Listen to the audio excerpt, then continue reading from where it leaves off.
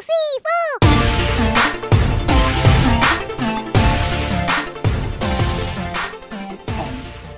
the examiner must just surprise you and ask you to calculate a distance of a curved road.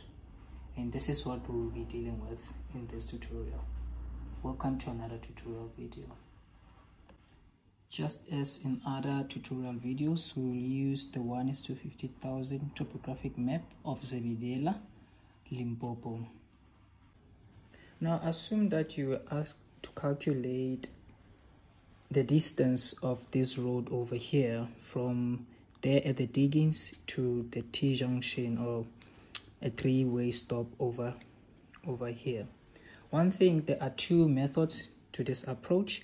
One, you can just use your string and the other method which we are going to use in this video is using a paper strip to to measure the distance. So i'm using a paper strip uh, method because it's the most easiest and most uh, accurate. And also a paper strip is more likely to be one piece of info uh, one piece of um, tool that you can get. You can just tear strip from your question your question paper so our starting point will be just right there at the T-junction and as you can analyze this road there's a curve just right there. And then the second one is there. And as you move along here's the third one right here. And then we're going to end just right here. So wherever there is a curve i'm going to put a mark on my paper strip so i'm going to put my paper strip just where i'm going to start right there and i can put a mark over here right just to indicate where i've started. And as i can see um, right here here's my curve because this the road does no longer follow the um, the paper strip. So i'm going to put a mark here to show that the road was curving over there. And follow the road and I can see that just right here this is my second my second curve where I can put my my mark. So turning over my paper strip to follow the road um, I can see that here's my second mark over there and I can just put a mark over there. So putting my mark right at the curve I can see that this is where I I end. So from here two things can happen. I can take this measured distance and use my ruler to measure the distance and calculate the distance according to what the ruler says. Or I can just take this paper strip and place it on my uh, straight line scale or my line scale to determine the distance. But the purpose of this tutorial video is to simplify things. So we're going to use the easier method which is the ruler the ruler method.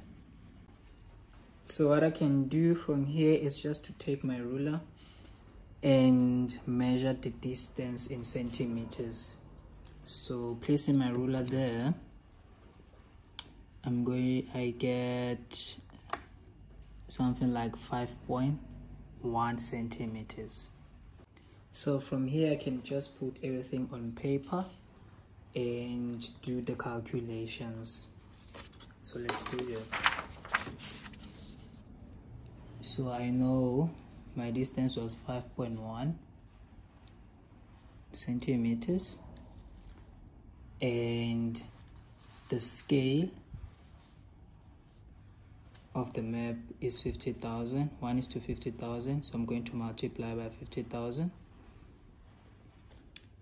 and this will give me 55.1 centimeters times 50,000 let me put that in calculator. 5 comma 1 times 50,000 centimeters gives me 255,000 which is equals to and we need this distance in kilometers. So we use our method kh dmdcm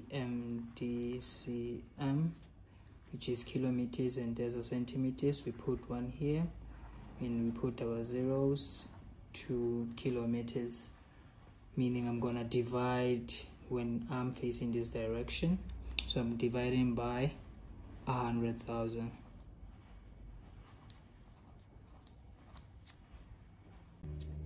So zeros will cancel. Zeros 255 divided by 100 it's equals to 2 comma 5 5 kilo kilometers so this means the distance of this road from here curving right to here is equals to 2 comma 5 5 kilo kilometers. So let me know in the comments what do you think or what questions do you have